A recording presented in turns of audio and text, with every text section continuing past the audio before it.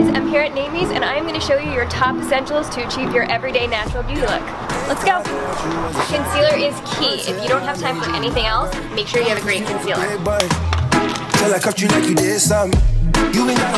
To make your life easier, find yourself a palette that doubles as a highlight and your eyeshadow. Things are getting sticky, girl. I think that I'm stuck.